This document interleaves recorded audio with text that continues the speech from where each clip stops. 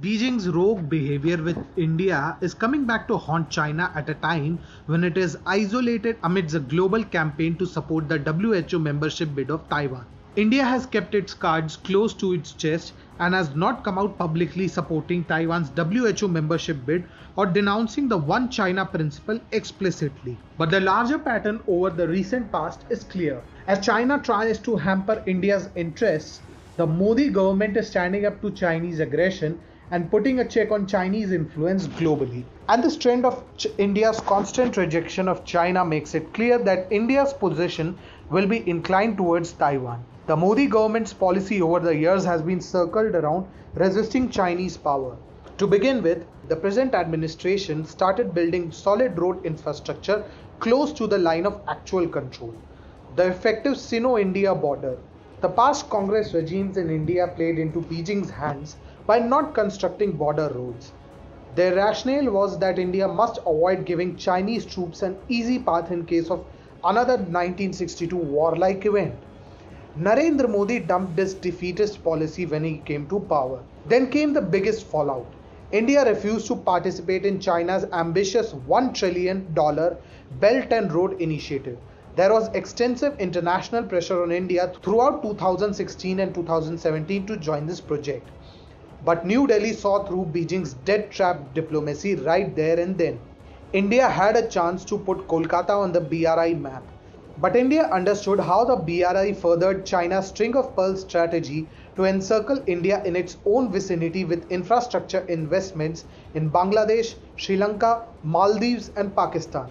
More importantly, India had another objection to the BRI project. Under the China Pakistan Economic Corridor, a part of the BRI project, China has kick-started infrastructure project in Pakistan occupied Kashmir and Gilgit Baltistan, both of which form an integral part of India's territory and currently forcefully occupied by Pakistan.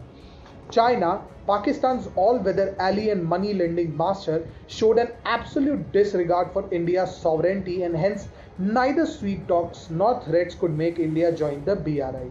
Then the Doklam standoff happened in the year 2017 when the Modi government once again boldly stood up to the Chinese aggression. The Indian army engaged itself in a tense standoff with the PLA at the Doklam Plateau on the China Bhutan border for 73 days. India's courageous step to rescue Bhutan from Chinese expansionism took the Chinese by surprise and ultimately they backed off. This was an embarrassing event for China.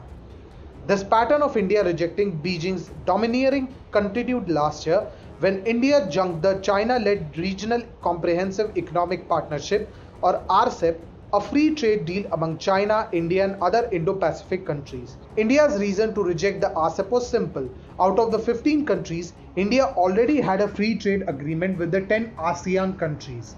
The only countries with whom India would have got free market access were New Zealand, Australia, and China.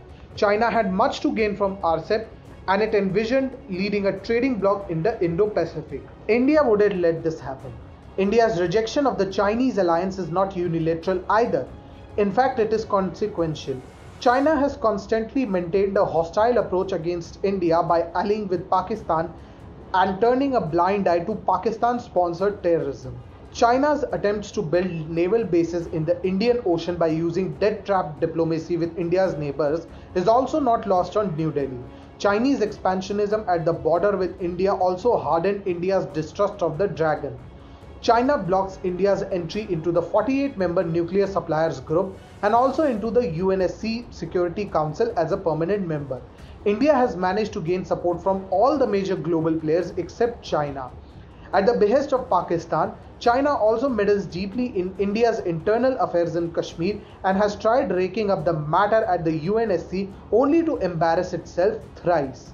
Hence, India has no reason to be sympathetic to the One China principle. India can be afford to be discreet in its Taiwan policy. No one is forcing New Delhi to pronounce its Taiwan stand immediately, but eventually India has to lean in favor of Taiwan's pro independence outlook.